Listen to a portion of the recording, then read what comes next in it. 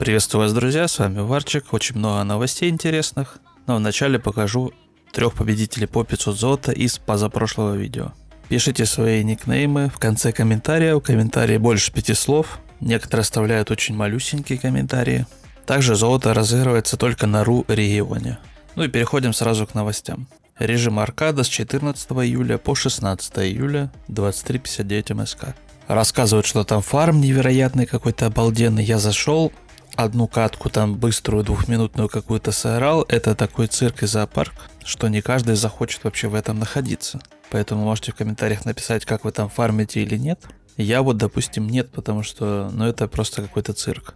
Адекватности в бою еще меньше, чем в обычном. Тратить время на такое у меня лично желание ноль.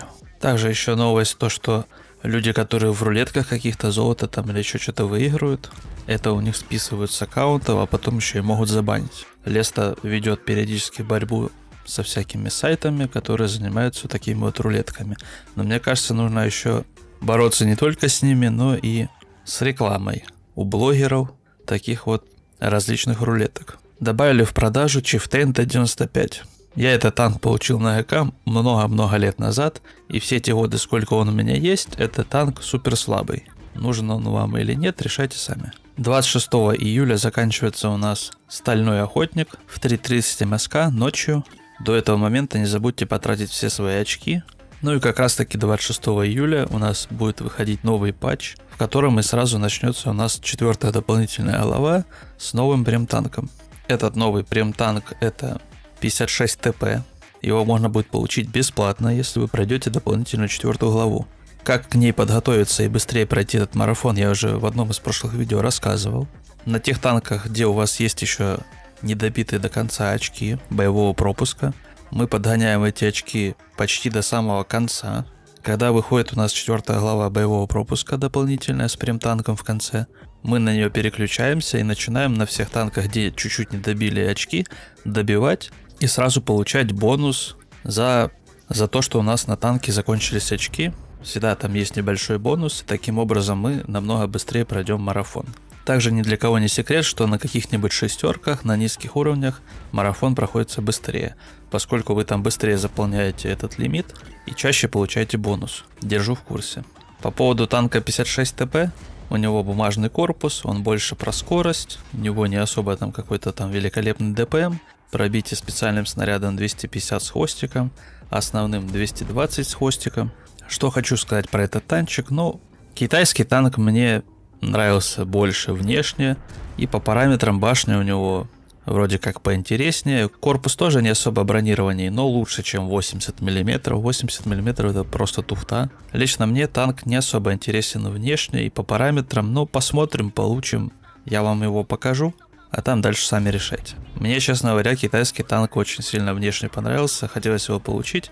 Он по параметрам, конечно, тоже не супер-мега там какой-то, но даже интереснее выглядел, чем вот это. Всегда возникает некое разочарование, когда чего-то ждешь. Если бы ничего не ждал бы, то и не было бы никакого разочарования. Также 25 июля у нас в 23.59 МСК заканчивается турнир «Легендарный охотник». Я без стрима иногда по пару каточек играю, немножко очки там поднимаю. Не сказал бы, что прям какое-то невероятное место занимаю, но при том небольшом количестве боев, сколько я сыграл, я не так уж сильно опустился. Да, и вижу, что со временем блогеры уже наигрались в этот режим и немножко уже начинают переключаться на что-то другое. Но оно и не мудрено, играть много в Стального Охотника это, конечно, тяжело. Но вы можете вступать в мою команду, фармить золото, и потом, когда турнир закончится, вы все это золото получите. Также 26 июля Заканчивается у нас боевая задача на 3D стиль Горыныч на огнеметный танк. Если вы на нем не сыграли ни одного боя, то сыграйте хотя бы один, чтобы получить этот стиль. Ну и 26 июля днем выйдет патч 1.21.1. Обновится ассортимент бонового и прем-магазина и стартанет классический стальной охотник, который будет работать до следующего патча.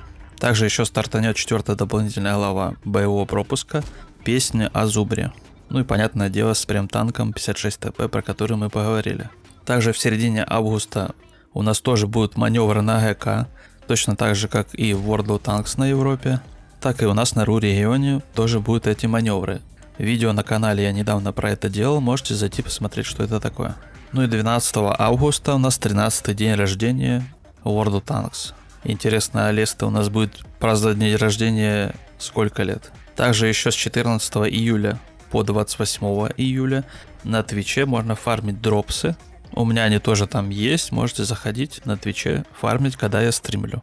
За 2 часа просмотра вы получаете коробку, из которой может выпасть дни према, золото, серебро, прем-танки, расходники, инструкции, различные там какие-то учебные брошюрки и танки в аренду. Также еще на тесте добавили режим с автопушками, который был на Европе, я вам его уже показывал.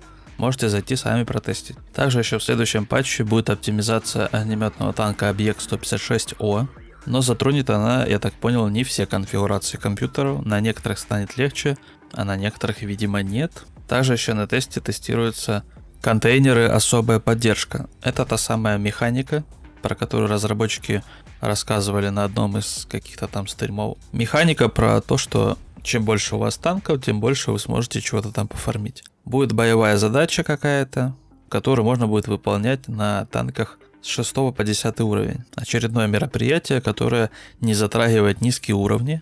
И низкие уровни, как никто на них никогда не играл, так там кроме ботов особо никого и не найдешь. Такое ощущение, что как специально хотят уничтожить низкие уровни, чтобы новички только с ботиками там игрались и все. В зависимости от уровня техники можно будет получить разные контейнеры.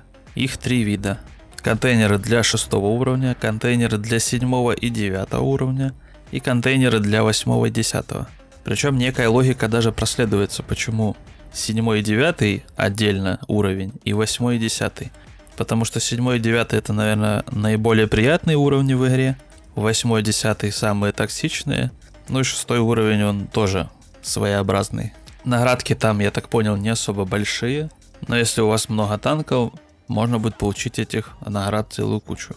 Когда это выйдет, посмотрим, что это такое, я расскажу свое мнение. Пока что не сильно понятно, пока оно тестируется, потом будет видно. Ну и также еще затронем изменения в боновом магазине. Уберут NC, Lora 40T, E75TS, T103, Гвардеец, Panzer Kampfhagen 4 Гидростат.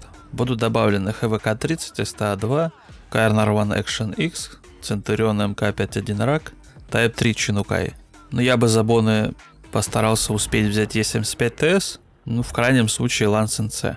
Ну и, конечно же, люди очень сильно любят Лору 40 тонн, танк, который почти нереально реализовать в обычных турбобоях, на коридорных картах, на нем вообще, в принципе, играть невозможно. А вот что из нового хорошего? Честно говоря, ничего.